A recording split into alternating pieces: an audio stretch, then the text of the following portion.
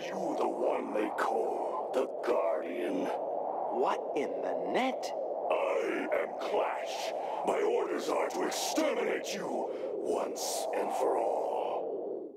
Good morning, afternoon, or evening. This is Mateo360. Today we are fighting Clash. This boss is different. He doesn't have a tear. This is my theory. Clash is built from chaos and corruption. Both elements are highly unstable entities. So yeah, no tear to seal, so it's just run and shoot, which is going to be the tactic for the next two bosses as well. So no tear means uh, no exploding and getting a bad end, which is why we got it in the last level. There's only one end to this boss, which is making this a very short video. He attacks by shooting you and freezing you in place with his box sword. That's it. Very simple. But when we get to the ending, watch what Clash explodes into.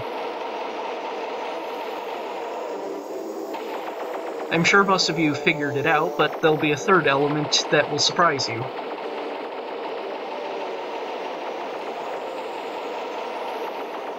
Almost there. Even with the powered up blaster, it takes forever to kill him.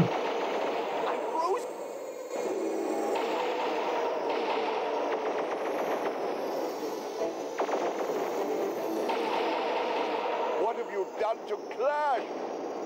I'll delete you if it's the last thing I do, Guardian.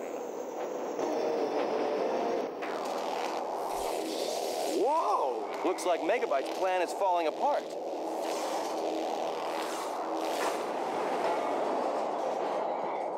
That's got us smart.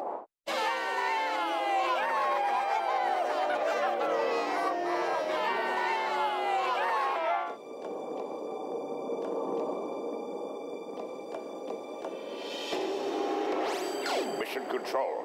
Retrieve additional tears and prepare for a second assault. We are still having some difficulty decoding the mirror script, mein big biter. I will not tolerate incompetence. Him! I am proud to say that I am Hack, he's Slash. I got a splitting headache. Oh boy, eh, the Guardian beat us fair and square. Yeah, it should have been a split decision. Yeah, it should have been. It Looks like he beat you too, boss.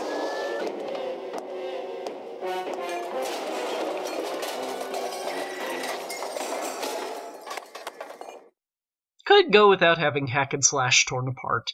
But anyway, you notice Scuzzy came from that explosion as well. Yet Scuzzy was in that picture of hexadecimal at the beginning. Continuity! It doesn't matter. Oh well.